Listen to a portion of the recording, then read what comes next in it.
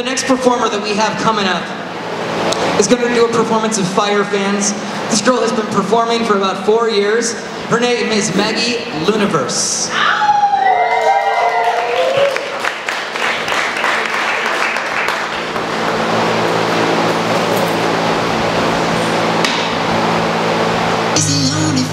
in the